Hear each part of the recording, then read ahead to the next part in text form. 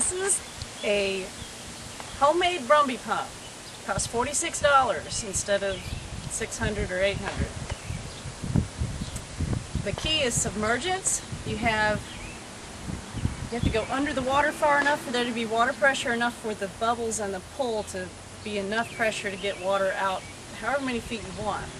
66% uh, is optimum for how much water you're underground versus how much lift you have. Or how is that? X over Y.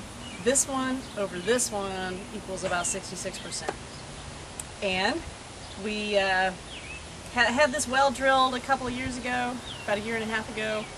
It's been sitting here not being able to get water out of it for this much time because I didn't want to go with the badass pumps with the mechanics and all the underground wiring and everything. so last night we went to Lowe's. We're told we couldn't, it wouldn't happen, it wouldn't work, but we did it anyway. We bought $46 worth of PVC pipe and air line and little connectors and put it together and after only 10% submergence, it's working. We got water coming out. So we're going to show how it works. Hi, I'm Norman. I'm Kathleen's partner in this crime. Um, so this is a little bit of the engineering of what we did. We have the air pipe coming into a T connector. The air tube is perforated at the end so we get little bubbles coming out inside the pipe. And the air tube only goes up the pipe, what, maybe an inch or two, maybe at most. And we plugged off the end so we just don't have big loppy bubbles. We have actually tiny bubbles by perforated pipe. We plugged off the end with a just a bolt. Yeah, we just plugged it off with something. We just stuffed to the end with a galvanized bolt is what we did. But you can anybody can use anything. And we also made the holes with a drill bit. We we yeah we just used a drill bit. We made about 20 holes. Yeah, maybe maybe 20 holes. Too much detail. Okay. People want to know. Okay. We figure that out. All right. Okay.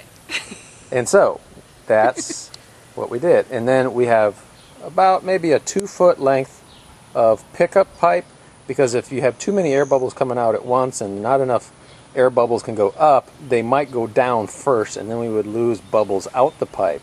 But this way the bubbles stay within the pipe, they stay contained, and they add the pressure to up to the up direction is what we all want, right?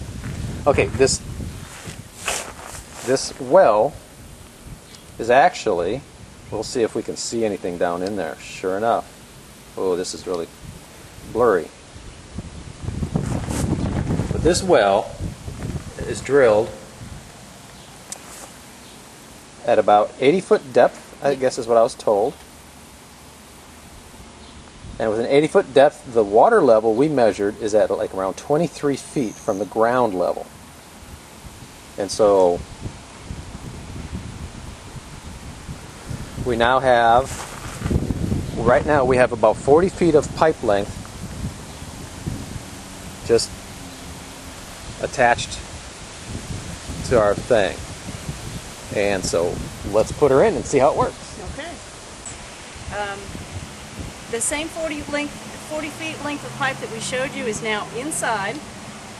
It kind of bends, so it's not too hard to put in. This is a Boy Scout cinchy thing to keep us from losing our pipe down 80 feet into the water. I don't know if it would float, but we still can't reach 23 feet down to grab it if we lost it. Um, it's working pretty good. Here is a little pump um, that my handyman friend left with me for airing up my tires. I don't know how old it is. I don't know how strong it is. It just, it's just like this. Just found it. I don't think air pressure came out to be a big factor in all the designs that we looked at. Um, the airline, we've only got about 10 more feet of airline, which is our limitation. We didn't expect to get water at this lowest submergence, but we did. We're going to show that right now.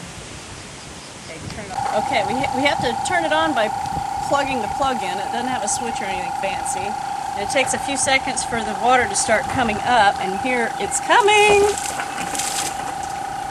Now, of course, after it comes out, we've got a way to direct it into a tank, which we'll talk about later. This is just uh, 15 feet into the water and it's lifting above uh, 25 feet.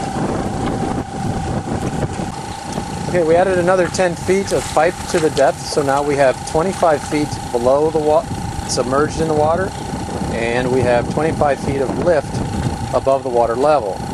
So we've got 50 feet of pipe there, and we've kind of teed off the top of it, and so that the whole pipe is sitting on the tee there, so it's not going anywhere. And as you can see, we've got water, and that water is being lifted by air up 25 feet. We don't need valves, we don't need high There's no valves, there's nothing, there's just this little bit of pump. air, Not air pressure that's big. and there's no pressure here, but that's not the point. We're not after water pressure, we're just after water. And so the water then will collect in a tank, and then from there, then we can use a, a different pump, an actual water pump, to pressurize a house or a hut or any kind of system.